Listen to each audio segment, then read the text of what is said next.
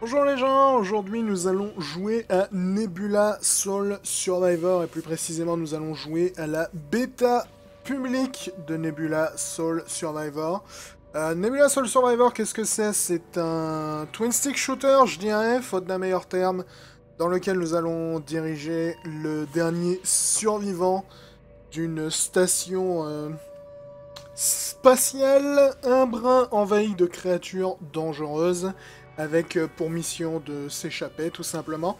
Euh, cette version alpha elle n'est pas super longue, donc euh, je vais probablement avoir l'occasion de la finir je pense sur cette vidéo. Et ça va me permettre de vous montrer un petit peu de quoi il en retourne. It's been 52 days since the first attack. The infection grows every day, and I can hear it moving behind the walls and inside the vents. I managed to isolate myself from it, but I don't know how long I will be able to survive this way. I'm collecting water from the condensation caused by the atmosphere generators, but my food supplies are going low.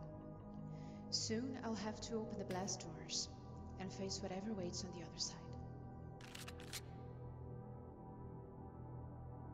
Donc voilà à quoi ressemble le jeu. Donc on a une vue euh, de dessus relativement classique de ce côté-là pour un, jeu avec ce gameplay. Euh, notre personnage se dirige de manière relativement simple. Donc là je joue au clavier et à la souris. Je peux ouvrir le feu avec mon arme. Euh, noter que j'ai décrit ce jeu comme un twin stick shooter parce que ça se joue honnêtement comme un twin stick shooter. Cela étant dit, à l'heure actuelle sur l'alpha, le gameplay à la manette est pas exactement glorieux. Euh, si je vous le montre, là je suis passé sur la manette. Bouger n'est pas un problème à la manette. Ce qui est un problème à la manette, c'est la caméra. Donc comme vous pouvez le voir, elle est un peu violente. Et du coup, c'est un peu compliqué de viser à la manette. Et je préfère en conséquence y jouer euh, au clavier et à la souris. Euh, alors qu'en règle générale, je préfère les twin stick shooters à la manette, mais là vraiment, il y a clairement des réglages à faire qui ne sont pas encore faits. Alors c'est une version alpha, hein, euh, comme je l'ai dit. Donc c'est pas vraiment surprenant que ce ne soit pas euh, optimal à l'heure actuelle, mais bon, si jamais vous continuez à jouer à la manette, je pense qu'il vaut mieux oublier et y jouer au clavier et à la souris.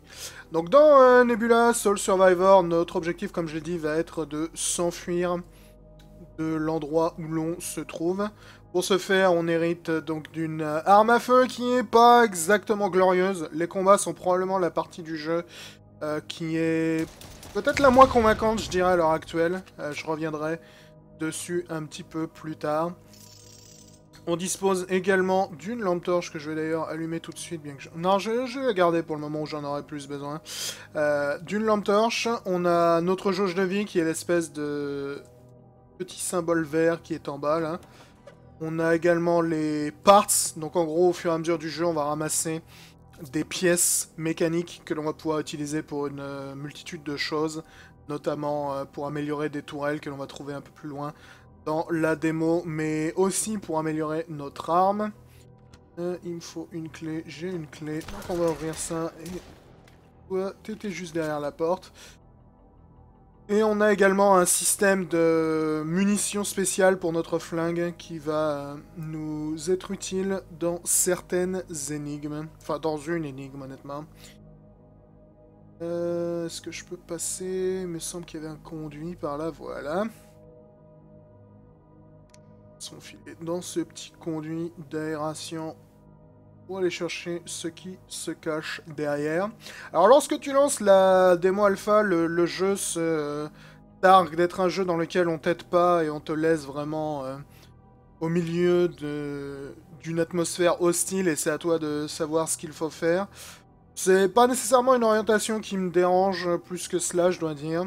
Euh, je pense que ça explique peut-être l'absence de certaines choses comme une minimap.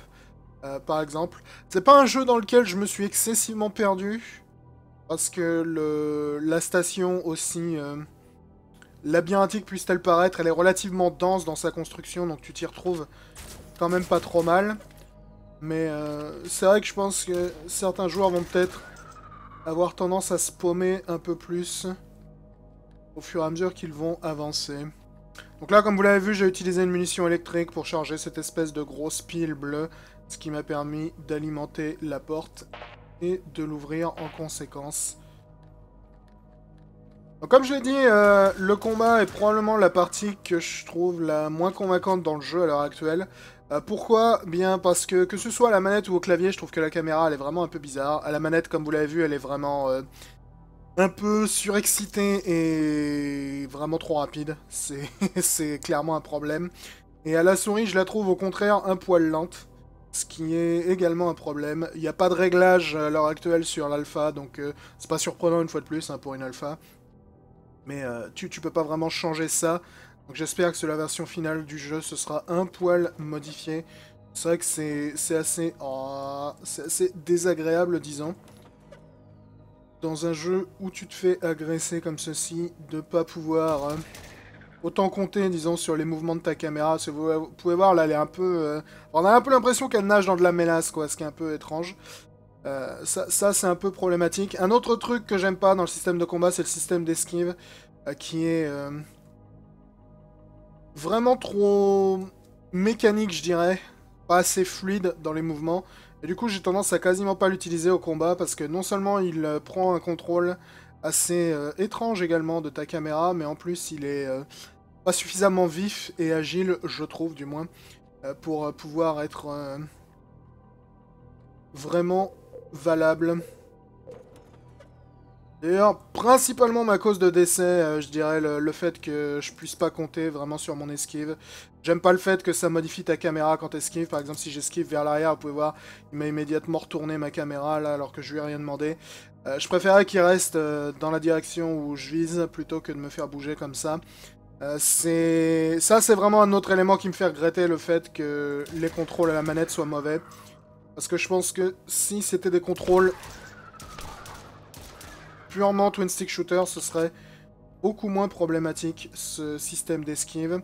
Tu pourrais maintenir évidemment le stick droit euh, dans la direction de ta caméra pour euh, potentiellement la maintenir. Mais vraiment à l'heure actuelle, je trouve que le jeu est plus ou moins injouable euh, avec le pad, donc je vais pas vraiment tenter de compenser là-dessus. Alors, s'il faut que je fasse gaffe, si je me souviens bien, il y a plein d'ennemis. Yep ça pour se débarrasser des espèces de masses de rats. Alors les ennemis ont une fâcheuse tendance à respawn dans ce jeu. Comme vous le savez probablement si vous suivez mes vidéos depuis longtemps, je suis pas très fan des jeux dans lesquels les monstres respawn. Euh, c'est pas vraiment ma grande passion, je dois avouer. Et il est fort probable que je me fasse surprendre à quelques reprises par des monstres qui vont me réapparaître dans le dos au fur et à mesure de cette démo. C'est pas nécessairement un problème parce qu'il y a un système de checkpoint, donc si tu meurs, c'est pas la fin du monde. Mais je dois avouer que c'est rarement ma cam, les... les ennemis qui respawn, qui respawn pardon, et c'est pas plus ma cam que d'habitude euh, dans ce jeu que ça pouvait l'être dans d'autres.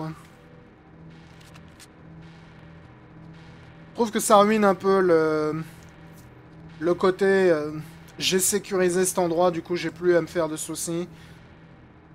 Et c'est vraiment quelque chose que je trouve assez désagréable. Je commence à allumer ma lampe torche là parce qu'on commence à se plonger dans les parties les plus sombres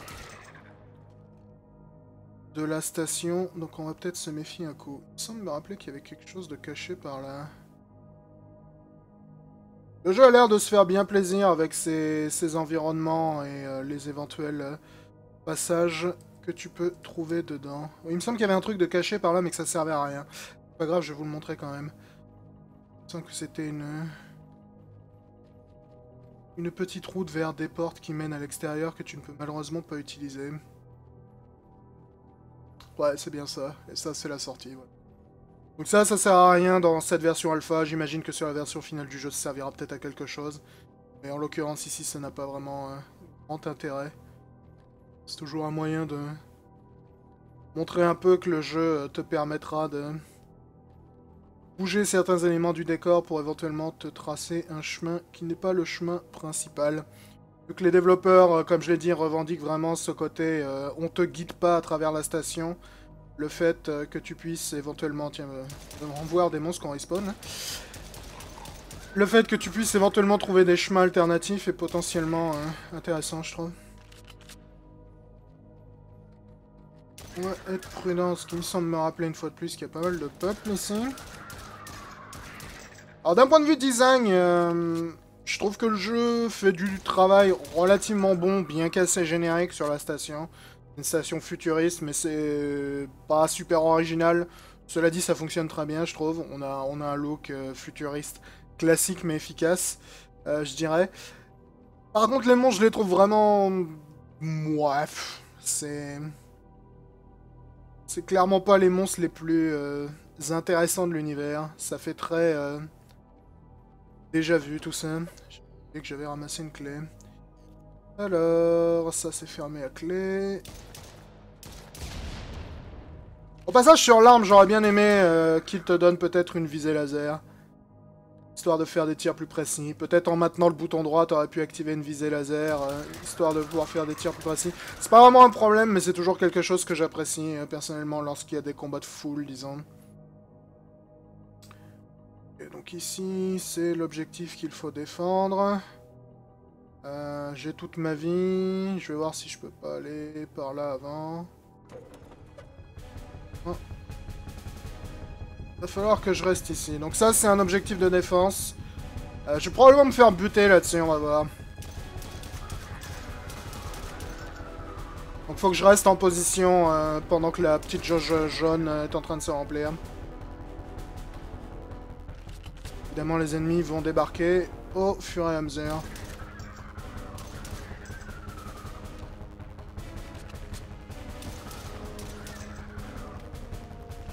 Semble que c'est surtout la vague finale qui est particulièrement relou là-dessus.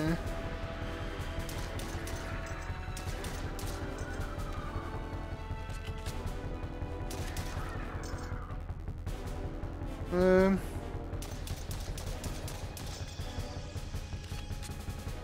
Presque. La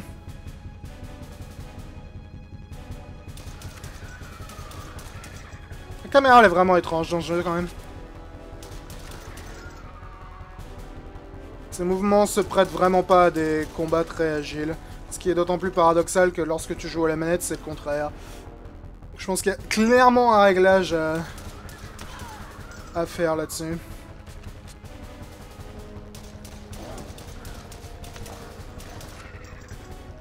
Oh, l'esquive, elle est vraiment pas bonne, je dois avouer. Bon.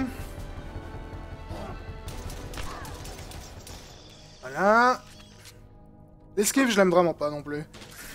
Je dois qu'elle est vraiment pas efficace, ou du moins pas aussi efficace que je le souhaiterais. Là, on a récupéré des pièces. Ici, vous pouvez voir, il y a une tourelle de défense. Euh, je peux l'améliorer avec mes pièces pour la rendre plus efficace. Je vais probablement pas le faire, parce que je sais que je peux faire des trucs plus intéressants avec mes pièces dans pas trop longtemps. Mais c'est un bon moyen, en fait, de contrer certains monstres balèzes. Donc si tu t'approches ici, vous pouvez voir, je peux augmenter son niveau, je peux lui redonner des munitions pour la rendre euh, plus puissante. C'est une bonne euh, information de savoir que cette tourelle est là, puisque si j'affronte des monstres balèzes dans le coin, je peux cavaler jusqu'à la tourelle pour les buter aisément. Au passage, j'ai vraiment plus de vie, là, si je me fais éternuer dessus, je suis mort. Et pas une euh, situation très enviable. Euh, en plus, il me semble qu'il n'y a rien à faire ici, donc je sais pas pourquoi je suis venu là. Est-ce qu'il y a un medikit qui traîne dans le coin?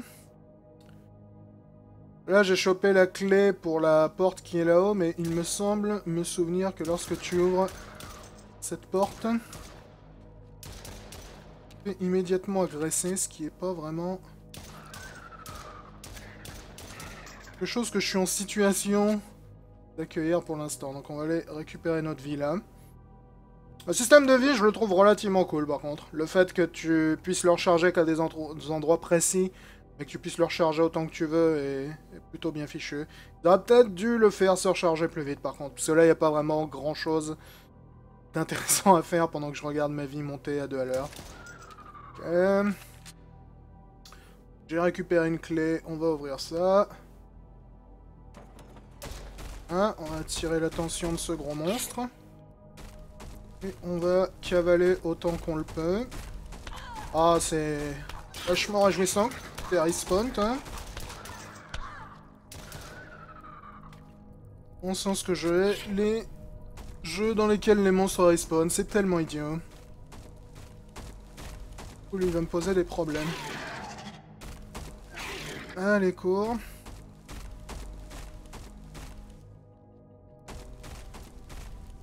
Et ils ont encore respawn, parce qu'évidemment, ce serait trop logique.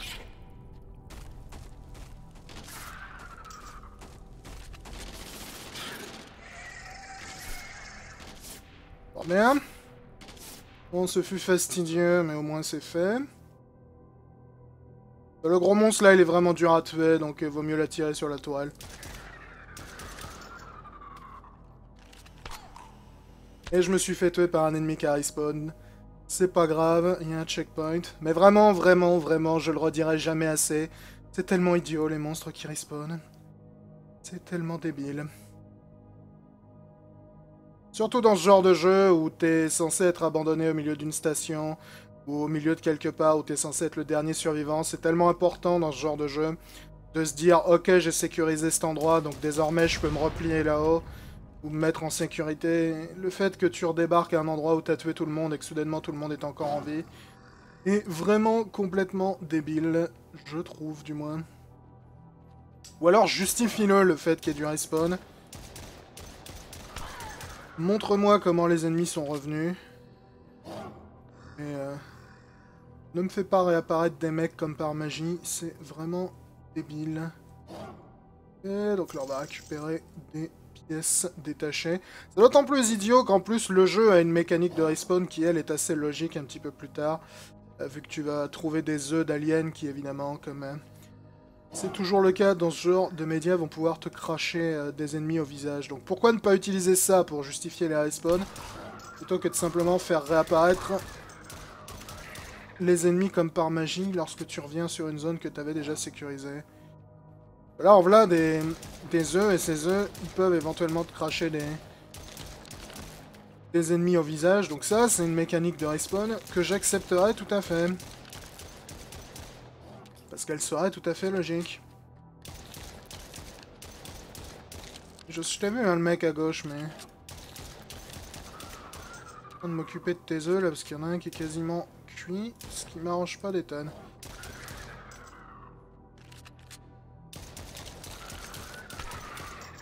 Alors, je sais pas, créer des euh, passages sur les murs avec les monstres qui sortent. justifier le, système de respawn serait quand même un minimum syndical, je pense. Alors, je rappelle que c'est une alpha, hein. en plus c'est un jeu euh, qui est développé visiblement par une seule personne, donc je suis peut-être un brin exigeant au milieu de mes caprices, mais vraiment je trouve que ça ruine toujours euh, l'ambiance, ce genre, et la cohérence, ce genre de système de respawn débile. Nettoyer le passage là, parce qu'en plus il va falloir qu'on revienne plus tard si je me souviens bien ici. Ok, c'est peut-être la salle où il y a l'établi d'amélioration ça. Non, c'est la salle du boss ça, donc c'est... C'est pour plus tard ça. De toute façon j'ai pas la clé pour l'ouvrir. ça. Voilà, qui est fait. Nous avons un bouton ici. Petite remarque, du point de vue des interactions dans ce jeu, j'aurais bien aimé qu'ils fassent des animations plus rapides. Que ce soit sur les interactions avec les boutons ou lorsque tu ramasses les clés. Euh, les animations sont un peu longues sans raison apparente. Bon exemple également là pour le ramassage de clés. Ça, ça sert pas à grand chose d'avoir une animation aussi longue et détaillée euh, là-dessus et ça, ça ruine un petit peu le, le rythme de jeu. Vous pouvez continuer à vous jeter sur la tourelle autant que vous voulez, les mecs, ça me dérange pas du tout. Elle a des munitions. Et de toute façon, je suis un peu loin. Ok, on a récupéré de la vie, on a récupéré du matos. Euh, ça, ça mène nulle part. Désormais, j'ai la clé pour ouvrir le boss. J'ai pas raté une pièce, moi J'ai raté l'ordinateur qui est en dessous. Pas tout à fait la même chose. Voilà, c'est là que je veux aller.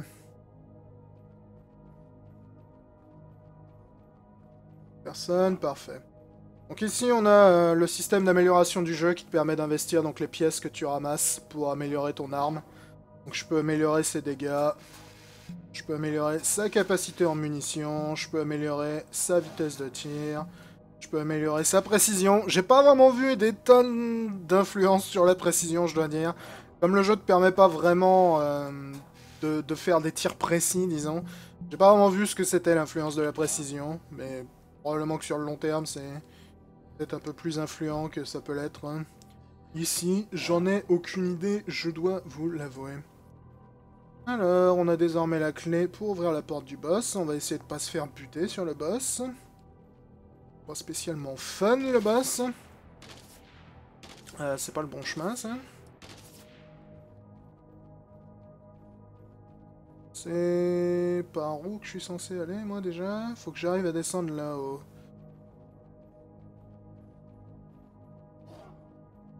Voilà.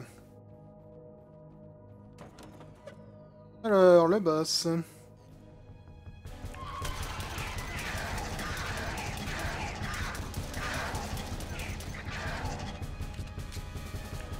Attendre qu'il s'approche un peu.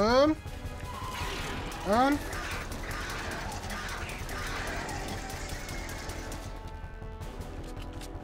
Ah, t'as pas fait long feu aujourd'hui.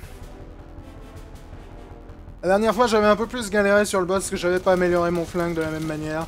Là, j'ai bien amélioré les dégâts, du coup, je vais défoncer la tronche au. Ce qui euh, n'est pas du tout pour me déplaire, je dois avouer. La dernière fois, j'avais surtout amélioré euh, ma capacité en munitions. Ouais, vraiment, l'animation de clé, je comprends pas pourquoi ils l'ont rendu aussi longue. Ça sert vraiment pas à grand chose. I don't know what's waiting for me out there. The only thing I know is that I need to survive somehow, just long enough. I owe it to my team, all my friends who lost their lives to the infection. I owe it to them to get our research back home. And this I will do. My mission was to colonize this moon. Now it's clear that this has changed. This is the first transmission of the Nebula mission. My new objective is to escape this wretched moon and return to Earth. Now, it's time to go outside. Donc voilà pour cette euh, version euh, bêta ouverte qui s'appelle bêta ouverte alors que c'est une version alpha à l'intérieur du jeu. Faudra qu'il se décide entre les deux, mais c'est pas vraiment très important, soyons tout à fait honnêtes. Euh, globalement, je trouve que c'est un jeu qui a du potentiel, mais il y a quand même pas mal de choses à faire et à corriger avant que ce soit un jeu vraiment intéressant. Euh, déjà, j'aimerais bien des meilleurs contrôles de la manette, parce que vraiment, ce genre de jeu, je préfère y jouer à la manette en règle générale, et là, avec leur caméra, c'était vraiment pas possible. Euh, comme je l'ai dit, j'aime pas le respawn, j'aime pas le système d'esquive. le fait que ça bouge ta caméra en même temps est particulièrement gênant lorsque tu joues au clavier et à la souris. Euh, je le trouve également l'animation un petit peu trop mécanique, ça, ça te sépare un peu trop de tes mouvements normaux lorsque tu fais une esquive, j'aurais préféré un enchaînement plus fluide des deux. J'aurais bien aimé un laser sur le flingue, pouvoir faire des tirs un petit peu plus précis, même si ça honnêtement c'est pas super important. J'aurais bien aimé également des animations euh, d'interaction plus rapides avec euh, le décor, que ce soit lorsque tu appuies sur un bouton, lorsque tu ramasses un objet et compagnie. Je vois pas trop qu'est-ce que ça sert comme objectif de d'avoir des animations aussi longues. Et j'aime pas le système de respawn, mais bon, ça c'est plus euh, quelque chose que je déteste en règle générale dans les jeux vidéo personnellement, donc je sais pas si je peux vraiment le mettre sur le dos du jeu. Euh, comme vous l'avez remarqué, les doublages pendant les cutscenes sont assez médiocres, mais bon, ça c'est probablement une conséquence de la modestie de ce projet. Cela étant dit, et malgré toutes les petites choses que j'ai à redire à son sujet, je pense qu'avec un peu de boulot, ça pourrait être un jeu tout à fait fun. Euh, ce petit euh, Nebula euh, Soul Survivor. Pas un jeu hyper original, parce que soyons honnêtes, la direction artistique est relativement générique, que ce soit sur la base ou sur les ennemis. Mais ça fonctionne relativement bien, donc... j'ai hâte de voir dans quelle direction tout cela va aller sur le long terme. Voilà Ciao tout le monde